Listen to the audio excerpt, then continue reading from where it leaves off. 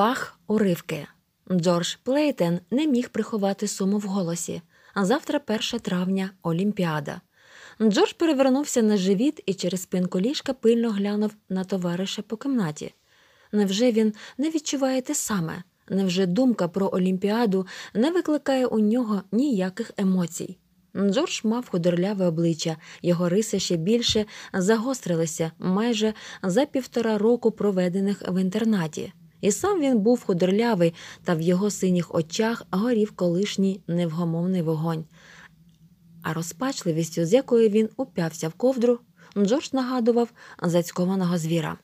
Товариш по кімнаті на мить залишив книгу. Його звали Хейлі Омені. Він був нігерієць. Здавалося, його темно брунатна шкіра і масивні риси обличчя створені для того, щоб виражати тільки спокій. Згадка про Олімпіаду його не схвилювала. Я знаю, Джордже, озвався він. Джордж подумав, чи не стане він сам таким через 10 років життя отут, і з обуренням відкинув цю думку.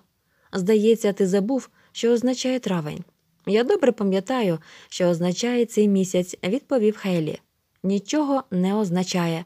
То ти забув, а не я. Травень нічого не означає для тебе, Джорджа Плейтона, і для мене Хейлі Омені, неголосно додав він. Тепер на землю по нових спеціалістів злітаються космічні кораблі. До червня тисячі і тисячі їх із мільйонами чоловіків та жінок відлетять до інших світів.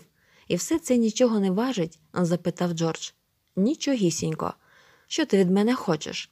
Беззвучно, ворушуючи губами, Омені почав водити пальцем по рядках книжки. Певно, йому трапилося важке місце. Яка користь від того читання? Джордж рішуче наблизився до Омені, презирливо хмикнув і зі словами знову електроніка вибив книжку з рук нігерійця. Омені неквапливо підвівся і підняв книгу. Без будь-якого роздратування він розгладив сторінку. Вважаю, що я задовольняю свою цікавість, сказав Хейлі. Щось зрозумію сьогодні, а завтра, може, зрозумію трохи більше. Неабияка та перемога. Перемога, яка там перемога? Невже це все, що тобі потрібно від життя? До 65 років набути чверть тих знань, що має дипломований інженер-електроник, а може, і до 35. І кому ж ти будеш потрібен? Хто тебе візьме? Куди ти підеш? Нікому, ніхто, нікуди. Я залишуся тут і читатиму інші книжки. І цього тобі досить говори. Ти затяг мене на заняття, ти примусив мене читати і заучувати. Навіщо? Це мене аж ніяк не влаштовує. А що гарного у тому, що ти відмовляєшся від задоволення? Я вирішив покінчити з цим фарсом. Я зроблю те, що збирався зробити з самого початку, ще до того, як ти приспав мене. Я примушу їх, примушу, примушу виправити несправедливість. Тут змова. Я доберуся до того Антонелі і змушу його зізнатися, що він, він. Омені похитав головою. Кожний, хто потрапляє сюди, твердить, що сталася помилка. Я думав, той період у тебе минув. Не називай це періодом, розлютився Джордж. У моєму випадку справді припустилися помилки, я ж казав тобі. У тому, що і коїлося, з Джорджем був винен травень місяць Олімпіади. Це він роз'ятрив колишню лють, і Джордж нічого не міг собою вдіяти, та й не хотів, адже йому загрожувала небезпека все забути. Я збирався стати програмістом обчислювальних машин, я справді можу ним бути, хоч би що вони там казали, посилаючись на дослідження. Джордж ударив колоком по матрацу. В аналізах помилок не буває. Виходить, бувають. Ти ж не сумніваєшся в моїх здібностях. Здібності тут ні до чого. Хіба тобі про це не казали? Омені не поспіхом підвівся і почав акуратно розбирати постіль. Джордже, ти невиправний, мучиш себе, бо не хочеш визнавати очевидних фактів. Джордже, ти перебуваєш в закладі, що називається інтернатом, але я ніколи ще не чув, щоб ти вимовляв його назву повністю. Тож зроби це зараз, ну ж бо, Джордже, зроби, а потім лягай у ліжко і проспись. Джордж скриготнув зубами і вищирився. Ні, прохрипів він. Тоді це зроблю я, сказав Омені, і, карбуючи кожен склад, вимовив назву. Джорджеві стало соромно і гірко, він відвернувся. У 18 років Джордж Плейтен твердо знав, що стане програмістом. Він навіть дістав підручники з програмування, щоб з'ясувати, чи зможе оволодіти цією професією. Але знання вже давно не здобуваються крихтами, сидінням за підручниками. Їх просто записують у мозок зі спеціальних навчальних плівок. День запису називається Днем освіти. Вміння читати записують у дитинстві в день читання. Потім частину спеціалістів замовляють уряди інших планет, колонізованих землянами. Мрія кожного молодого землянина зробити кар'єру і потрапити на планету класу А. Про це мріяв і Джордж у свій день освіти, стоячи перед лікарем Зекарі Антонелі, який мав би визначити, для чого підходить його мозок, і записати необхідні знання. Лікар Антонелі розгорнув грубенько теку. Тут пишеться, що ви хочете стати програмістом. Так, лікарю. Чому ви хочете стати програмістом? Сер, це відповідальний фах. Програмісти виконують важку і складну роботу. Мені вона подобається, і я думаю, що впораюся з нею. Лікар Антонелі відклав папери і роздратовано глянув на Джорджа. А звідкиля ви знаєте, що вона вам до вподоби? Мабуть, сподіваєтеся, що вас одразу заберуть на якусь з планет класу А. Він намагається залякати мене, захвилювався Джордж. Пануй над собою і кажи правду. Звісно, програміст має більше шансів, сказав Джордж, та якби мене залишили на землі, робота не стала подобатись мені менше, я знаю. Нехай так, але звідки ви знаєте? Запитання поставлено таким тоном, наче на нього годі було відповісти розумно, і Джордж змусив себе не посміхнутись, адже він знав відповідь. Я читав про програмування, сказав він. Що? На обличчі лікаря з'явився щирий подив, і Джорджеві стало дуже приємно. Я читав про програмування, сер, повторив він. Я придбав книжку і простудіював її. Книгу для дипломованих програмистів? Так, сер. Але ж ви не могли розуміти, що там написано. Спочатку та я дістав книжку з математики, електроніки, розібрався в них наскільки міг. Я, звичайно, знаю не так уже і багато, проте все таки досить, аби зрозуміти, що мені подобається цей фах і що я можу бути програмістом. Лікар відтяг двома пальцями шкіряну бганку під підборіддям. А навіщо воно тобі, синку? Хотілося перевірити, чи справді цей фах цікавий. Але ж ви знаєте, що це не має ніякої ваги, хоч би як подобався фах, ви не здобудете його, якщо фізіологія мозку показує, що ви здібні для іншої діяльності. Ви це знаєте? Мені казали. Обережно відповів Джордж. Повірте, що то правда. Поринувши у невеселі роздуми, лікар Антонелі перекладав з місця на місце щойно вивчені плівки, потім сказав Займімося аналізами, бо так ми нічого не вирішимо. До скрон Джорджеві приліпили дротики. Джорджеві руки похололи і зволожніли, серце шалено стогоніло.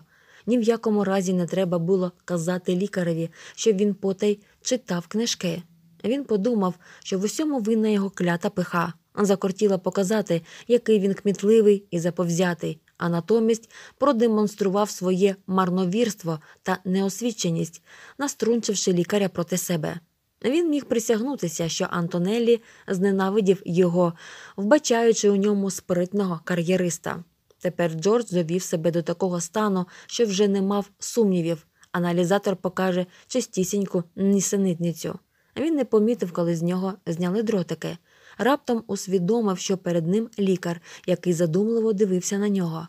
Все скінчилося, дротиків не було. Відчайдушним зусиллям волі Джордж опанував себе. Він остаточно розпрощався з мрією стати програмістом. Її знищили за якихось 10 хвилин. Мабуть, що нічого не вийде, похмуро запитав Джордж. Що не вийде? Я не буду програмістом. Лікар потер носа і сказав Заберіть свій одяг і йдіть до кімнати 15 с Там на вас чекатимуть папери і мій висновок. Хіба я вже здобув освіту, вразився Джордж. Мені здавалося, що це тільки Лікар Антонеллі подивився вбік на письмовий стіл. Вам усе пояснять робіть, як я сказав. Джордж безпорадно силкувався вгадати, про що ж йому скажуть, що він має право тільки на фах дипломованого чорнороба. Його хочуть підготувати до цієї новини, призвичаїти до фаху. Він раптом цілком повірив у правдивість своєї здогадки, і йому довелося напружити всі сили, щоб не закричати. Джордж дістався до дверей з номером 15С. Його завели в пусту кімнату і залишили. На якусь мить він піднісся духом. Якби ця кімната була для чорноробів, то, звичайно, вже сиділи б десятки юнаків. Біля невисокої завишки по пояс переділки ковзнули розсувні двері, і до кімнати зайшов літній сивоголовий чоловік. Він посміхнувся, показавши рівні, мабуть, штучні зуби. Проте у нього було молоде, гладеньке обличчя і гучний голос. Добрий вечір, Джордже, привітався він. Бачу, цього разу до нас у сектор потрапив тільки один. Тільки один? безпорадно запитав Джордж. Таких, як ти, на землі тисячі. Ти не самотній. Джордж почав дратуватися. Я нічого не розумію, сер, сказав він. Яка в мене класифікація? Що тут коїться? Спокійно, синку, з тобою все гаразд. Таке могло б статися з кожним. А він простягнув руку, і Джордж машинально взявся за неї. Тепла долоня міцно потисла Джорджову долоню. Сідай, синко, мене звуть Сем Еленфорд. Джордж нетерпляче кивнув. Я хочу знати, в чим річ, сер. Природно, по-перше, Джордже, ти не можеш бути програмістом. Думаю, ти сам уже збагнув. Так, з гіркотою в голосі погодився Джордж. Але ким же я тоді буду? Таке важко пояснити, Джордже. Еленфорд помовчав, потім вимовив Ніким. Що? Ніким. З моїм мозком щось не так. У ньому є якісь зміни. Гадаю, з погляду фахової кваліфікації ти можеш вважати, що в ньому є порушення. Але чому? Еленфорд знизав плечима. Ти, звісно, знаєш, яким чином діє земна програма освіти. Практично всяка людина спроможна засвоїти будь-які знання, але кожен окремий мозок краще підходить до одних видів знань, ніж до інших. Ми намагаємося по змозі поєднувати структуру мозку з відповідними знаннями даного фаху, виходячи з потреби на спеціальність. Джордж кивнув так я знаю. Проте інколи, Джорджа, нам трапляється юнак, у якого інтелект не підходить для накладання будь-яких знань. Ви хочете сказати, що я не годен здобути освіти? Саме це я маю на увазі. Казна що, я ж тямлю, я можу зрозуміти. Він безпорадно озирнувся, наче шукаючи якоїсь нагоди довести, що мозок його працює справно. Будь ласка, глянь на речі тверезо, поважно сказав Еленфорд. Ти розумний, поза всяким сумнівом. Твій інтелект навіть вище за середній. На жаль, це не має відношення до накладання знання на мозок, і взагалі сюди завжди потрапляють розумні люди. Але я ніколи не чув, щоб хтось не мав фаху, заперечив він. Таких небагато, визнав Еленфорд, і ми охороняємо їх. Охороняєте? Джош відчув, як у збентеженій душі зростає страх. Тобою опікується планета, Джордже. З тієї миті, як ти зайшов у ці двері, ми почали виконувати свої обов'язки, і він усміхнувся. То був аж надто лагідний усміх. Джорджеві він здався усміхом власника, усміхом дорослого до безпорадної дитини. Виходить, я потраплю до тюрми? спитав він. Боронь Боже, ти житимеш з такими, як ти. Так Джордж потрапив до інтернату. Його батьків повідомили, що він виконує спеціальне завдання, щоб не було розголосу. В інтернаті були навчальні приміщення багато книжок, але Джордж ніяк не міг примиритися з тим, що він потрапив сюди, і підозрював таємну змову проти себе, активну участь у якій взяв лікар Антонеллі. Особливо прикро йому стало, коли сусід по кімнаті Хейлі Омені надав йому повну назву інтернату інтернат для недоумків. Джордж зрозумів, що якщо зараз, цього травня, він нічого не зробить, то залишиться в інтернаті для недоумків до кінця життя. І Джордж утік з інтернату і дістався Сан-Франциско саме на початок Олімпіади. Оглядаючи олімпійські стенди, він натрапив на стенд з металургії та зауважив прізвище свого давнього шкільного друга Арманда Тревіліяна, який мріяв стати металургом і потрапити на новію планету класу А. І саме Новія була замовником цього змагання за фахом металурга. Зала була дуже велика і мала класичну форму витягнутого овалу. Глядачі розташувалися на двох галереях, що тяглися попід стінами всієї зали, а учасники змагань унизу посеред довгого і вузького заглиблення. Механізми були вже встановлені, а на табло, які висіли над кожним робочим місцем, поки що світилися тільки прізвища та номери учасників змагань. Самі ж вони були на сцені. Джордж вивчив програму, знайдену спеціальному заглибленні бильця свого крісла, і надибав прізвище Тревіліана. Той значився під номером 12, та, на жаль, його місце було в іншому кінці зали. Джордж міг роздивитися постать учасника під номером 12, який, тримаючи руки в кишенях, стояв спиною до свого апарата і роздивлявся глядачів з таким виглядом, наче перераховував їх та Джордж не міг розгледіти його обличчя. А все ж то був треф. Джордж опустився на своє місце. Йому було цікаво, як покаже себе треф. Почуття відповідальності спонукало вірити в тревіліянів. Успіх, проте щось мучило його, народжувало обурення і протест. Як же так, він, Джордж, людина без професії, сидить тут звичайним глядачем, а там тревіліан, дипломований металург по кольорових металах, учасник змагань. Шановні новіанські замовники, леді і джентльмени, пролунав чіткий голос диктора. Зараз почнуться олімпійські змагання металургів по кольорових металах. У змаганнях беруть участь. Дуже ретельно диктор зачитав програму, прізвища, назви міст, звідки прибули учасники, рік здобуття освіти. Глядачі зустрічали кожне ім'я радісними вигуками, а коли серед учасників називали жителів Сан-Франциско, здіймався неймовірний гамір. Дійшла черга до Тревіліана, і Джордж несподівано для себе скажено заволав, замотиляв руками. Та ще більше його здивувало, що сивий чоловік, який сидів поруч з ним, поводився так само. Джордж не міг приховати свого подиву, а сусіда нахилився до нього і напружив голос, щоб перекричати шум.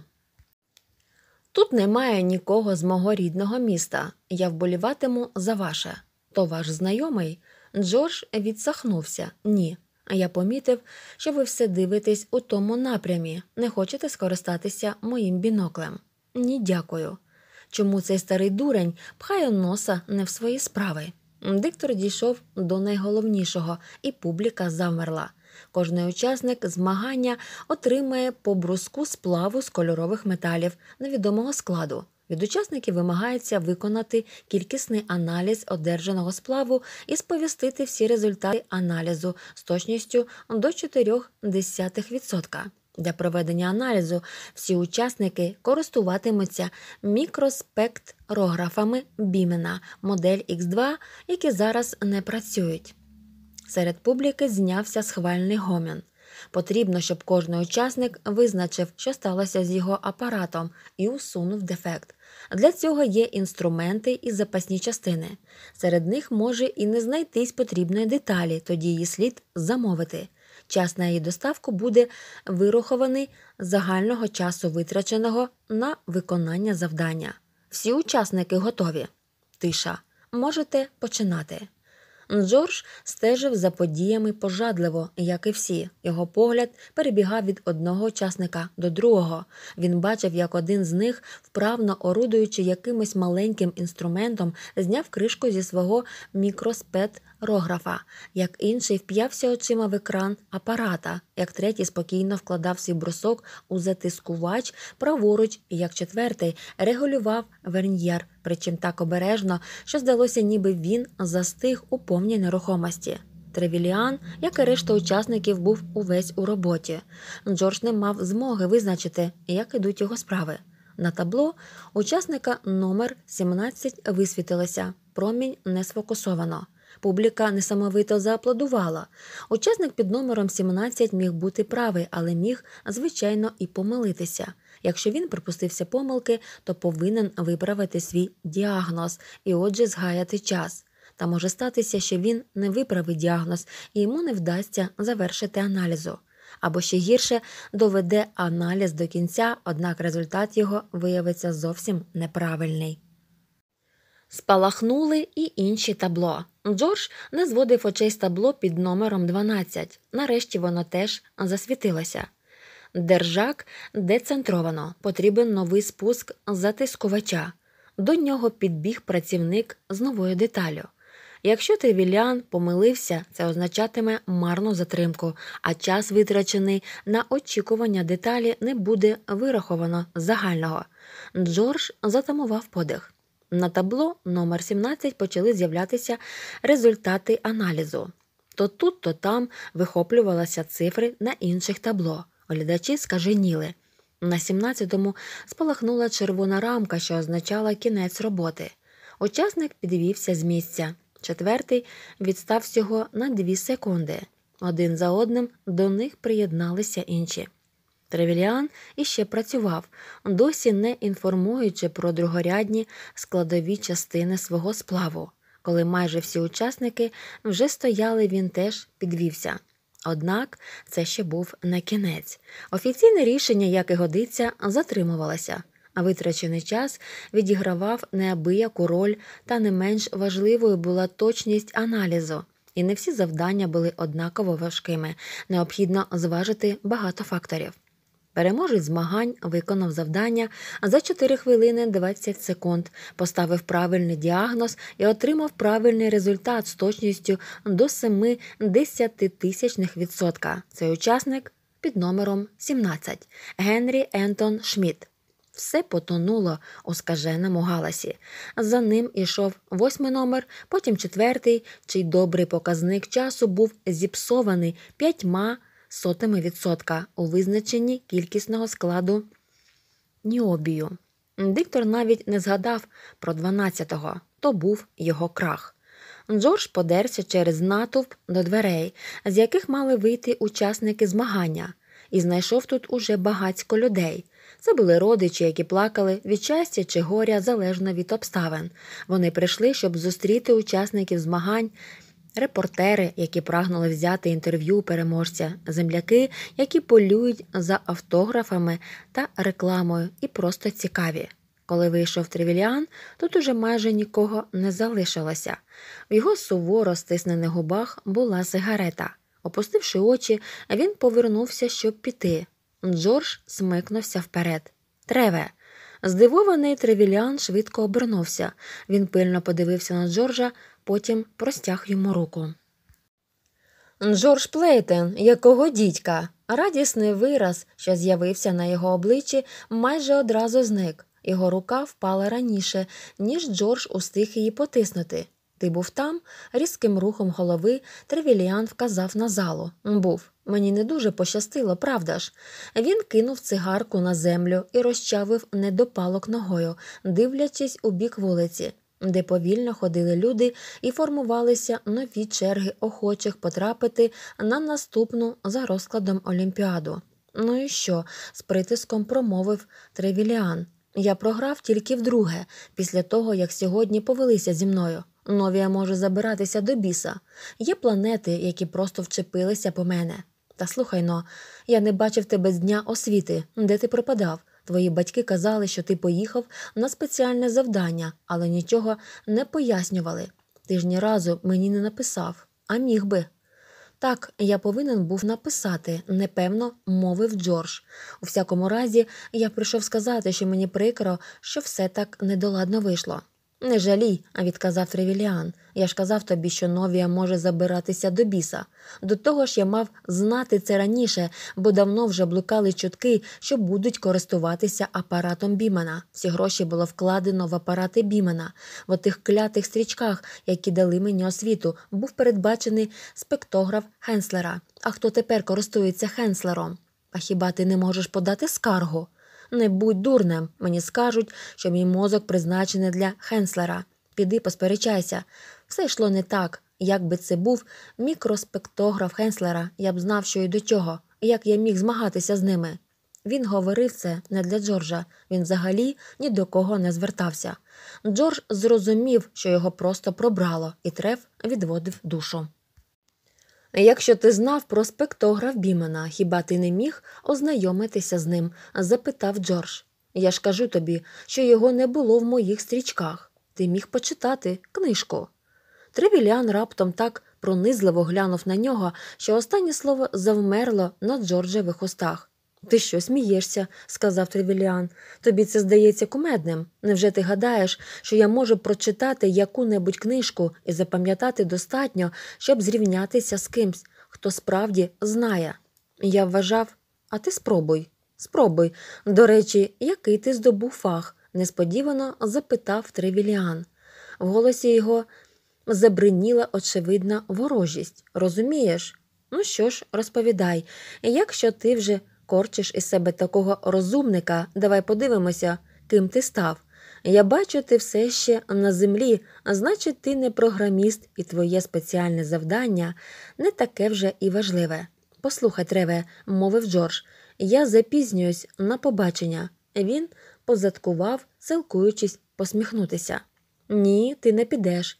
Тревіліан, скаженіючи, кинувся до Джорджа і вчепився в його піджак. Дай відповідь на моє запитання для чого з'являтися сюди і тикати мене носа в мою поразку, якщо сам не в змозі витерпіти те саме, що і я. Ти чуєш мене?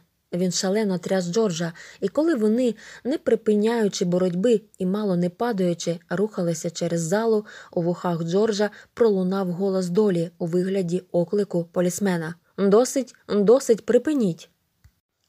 У Джорджа, який утік з інтернату і не мав жодного посвідчення особи, важко забилося серце. Але несподівано до полісмена підійшов сивий чоловік, який сидів біля Джорджа на змаганнях показав якусь картку, і той відразу відступив. Сивий відрекомендувався хлопцеві Владисласом Інженеску, істориком, який спеціалізується на вивченні розвитку суспільства в минулому. Вже сама думка про те, що в минулому було якось інакше, подивувала Джорджа. Вони розговорилися, і Інженеско пояснив, що наявна система освіти дуже корисна для землян. Вона дозволяє швидко готувати спеціалістів і колонізувати всесвіт зберігаючи культурну єдність усіх світів, а їх уже півтори тисячі. Джордж зауважив, що викликав у сивого наукову цікавість до себе і попрохав про послугу організувати йому розмову з представником іншої планети, наприклад, з новіанином. Хлопець був упевнений, що історик дуже поважна особа, адже його послухався навіть полісмен. Інженеску сказав, що особисту зустріч із новіанином влаштувати неможливо, але він допоможе Джорджеві зв'язатися з ним по відеофону. Коли новіанин вийшов на зв'язок, він, вочевидь, був на вечірці. На екрані було багато облич. Чоловіки і жінки пхалися одне перед одного, щоб подивитися на Джорджа. Їхні обличчя відбивали найрізноманітніші відтінки втіхи і цікавості. Джордж спробував триматися невимушено. Всі вони, як повіани, так і земляни, кожний по-своєму вивчали його, як жука на голці. Ендженеско тепер сидів у кутку і спостерігав за ним широко розкритими очима. Які ж ви всі ідіоти, напружено подумав Джордж. Та вони повинні зрозуміти він примусить їх зрозуміти. Я був сьогодні на Олімпіаді металургів, почав він. Як і ви теж, вічливо запитав новіанин. Здається, там було присутнє все населення землі. Ні, вельми шановний, але я там був. У змаганні брав участь один мій друг, і йому дуже не пощастило, тому що ви дали учасникам апарати Бімена, а він здобув тільки генслереву освіту, очевидно, застарілої моделі. І мій друг знав до Олімпіади, що знадобиться знайомство з апаратом Бімена. І що ж далі? Мій друг усе життя мріяв потрапити на новію. Він знав апарат Хенслера. Він знав, що йому треба було ознайомитися з апаратом Бімена, щоб потрапити до вас. А щоб розібратися в цьому апараті, потрібно було засвоїти всього декілька фактів. Якщо врахувати, що на Терезах була мета всього життя, він міг би впоратися. А де б він дістав стрічку з додатковою інформацією, чи освіта тут, на землі, перетворилася на приватне хатнє навчання. Обличчя на дальньому плані, як по команді, зареготали. Не думайте, що я жартую. Стрічки дійсно нічого не варті. Вони вчать надто багатьох речей і надто безболісно. Людина, яка отримує знання з їхньою допомогою, не уявляє, як можна вчитися інакше. Її знання застигають у тому вигляді, в якому вона бере їх зі стрічки. А якби замість того, щоб напихати людину стрічками, її примусили б з самого початку вчитися, так би мовити, вручну. Вона звикла почитися самотужки і продовжувала б навчання далі. Хіба це не розумно? А коли звичка буде добре розвинена, людині можна дати трохи знань через стрічку, щоб заповнити прогалини чи уточнити деякі деталі. А далі вже вона вчитиметься самостійно. Таким чином, ви зможете своїх металургів, що знають спектограф Хенслера, навчити користуватися спектографом Бімена, і вам не доведеться прилітати на землю по новій моделі спеціалістів. Новіанин кивнув. А звідки отримують знання, окрім стрічок? З міжзоряного простору, з книжок, вивчаючи самі апарати, думаючи, з книжок. А як же можна зрозуміти книжки, не здобувши освіти? Книжки складаються зі слів, а більшу частину слів можна зрозуміти. Спеціальні ж терміни можуть роз'яснити ті фахівці, яких ви вже маєте. А самі ви вчилися по книжках, чи це тільки ваша теорія? Джордж швидко глянув на Індженеску, та історик лишався незворушним. На його обличчі застигла тільки доброзичлива цікавість. Намагався. І ви вважаєте, з цього щось виходить? Так, вельми шановний. Палко відповів Джордж. Візьміть мене з собою на новію. Я можу скласти програму і керувати. Зачекайте, я маю ще декілька питань. Як ви гадаєте, скільки вам потрібно буде часу, щоб стати металургом, який вміє працювати з бімінівським спектографом? Якщо припустити, що почнете вчитися, не маючи ніяких знань і не використовуючи стрічок освіти? Джордж завагався. Ну, можливо, кілька років. Два роки, п'ять, десять. Не можу сказати ви, шановний. Бачите, це найголовніше питання, і ви повинні відповісти на нього. Ну, приміром, п'ять років. Вас влаштує такий термін? Думаю, що так. Чудово. Отже, протягом п'яти років людина вивчає металургію за вашим методом. Весь цей час вона не дає нам ніякої користі, а її треба годувати, забезпечувати житлом і грішми. Але ж дайте мені закінчити. До того часу, коли вона буде підготовлена і зможе користуватися спектографом Бімена, мине п'ять років. Чи не здається вам, що тоді у нас уже з'явиться удосконалена модель апарата, з яким вона не зуміє працювати? Однак доти вона стане досвідченим ученим, і засвоєння нових деталей буде для неї питанням днів. Ви так гадаєте, гаразд, припустімо, що ваш друг, приміром, самостійно вивчав апарат Бімена і успішно його опанував. Чи зможе він зрівнятися своїм умінням з умінням учасника змагань, який отримав усе за допомогою стрічок? Можливо, і ні, почав Джордж. Отож бо і воно докинув нов'янин. Заждіть, дайте закінчить мені. Навіть якщо він і знає щось гірше, ніж той, інший в даному випадку важливо те, що він може вчитися далі. Він зможе придумати нове, на що не здатна людина, яка здобула освіту за допомогою стрічок. Ви будете мати в запасі людей, здатних оригінально мислити. Так, ну, леді джентльмени, ми досить з вами порозважалися. Екран згас. Джорджеві руки рвонулися до екрана нестримному бажанні оживити його. Він не повірив мені, скрикнув Джордж. Він не повірив мені. Так, Джордже, не повірив. Невже ви справді думали, що він повірить? запитав Енженеско. Джордж майже не чув його. Як мені дістатися до нього? Мені конче необхідно. Все вийшло не так, як треба. Не слід було говорити з ним по відеофону. Мені потрібен час. Треба зустрітися з ним вічнавіч. Як мені? Він не захоче зустрічатися з вами, Джордже, промовив Індженеско. А якщо й погодиться, то все одно не повірить. Ні, повірить, запевняю вас. Джордж повернувся до історика, і його очі широко розкрилися. Чому ви називаєте мене Джорджем? А хіба це не ваше ім'я, Джордж? Плейтен? Ви знаєте, хто я? Я знаю про вас усе. Джордж завмер. тільки часте дихання різко здіймало його груди. Я хочу допомогти вам, Джордже, запевнив Інженеско. Я вже говорив вам про це. Я весь час вивчав вас і хочу вам допомогти. Мені не потрібна ваша допомога. Я не недоумок. вигукнув Джордж. Він рвучко повернувся і, як шалений, кинувся до дверей. Розчахнув їх і був схоплений двома полісменами, що миттєво залишили свій пост. Попри все збудження, Джордж відчув дотик шприца якраз під щелепою, і все скінчилося. Останнє, що лишилося в пам'яті, було обличчя Інженеску, який зі співчуттям дивився на нього. Коли Джордж прийшов до тями, коло нього був Омені, але це не дратувало Джорджа. Ця картина раптом склалася в його голові. Ну, у всякому разі, мені стало все зрозуміло, неначе я завжди знав це, але не хотів дослухатися внутрішнього голосу, чого я чекав від нові.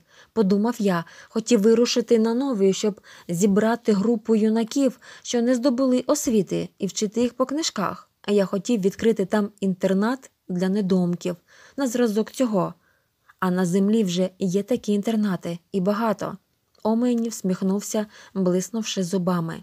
Інститут вищої освіти, ось як точно звуться такі установи. Тепер я це так добре розумію, що дивуюся своїй недавній сліпоті, сказав Джордж. Зрештою, хто винаходить нові зразки механізмів, для яких потрібні нові фахівці? Хто, наприклад, винайшов спектограф Бімена? Я гадаю, чоловік на імення Бімен, але він не міг здобути освіту за допомогою стрічок, бо йому не вдалося б посунутися вперед. Цілком слушно. А хто створює стрічки освіти? Фахівці по виробництву стрічок? А хто ж тоді складає стрічки для їхнього навчання? Фахівці ще вищої кваліфікації, а хто складає стрічки? Ти розумієш, що я хочу сказати? Десь має бути кінець, десь мають бути чоловіки та жінки здатні оригінально мислити. Так, Джордже. Джордж відкинувся назад і спрямував погляд у простір поверх голови Омені. На якусь мить в його очах промайнула тінь колишнього хвилювання. Чому мені не розповіли про все це спочатку? Вам ні в якому разі не можна казати. Ось у чим заковинка. Навіть після відсіву в день освіти дев'ять чоловік із десяти, що потрапили сюди, виявляються не зовсім підходящими для творчості і нема такого апарата, який допоміг би нам вирізняти з цієї десятки того єдиного, хто нам потрібен. Цей десятий повинен виявитися сам. Яким чином? Ми поміщаємо вас сюди в інтернат недомків, і той, хто не бажає з цим змиритися, є людина, яку ми шукаємо. Мені досі не зрозуміло одне, промовив Джордж. Що ж, Джордж відкинув простирадло і встав. Чому воно зветься Олімпіадою.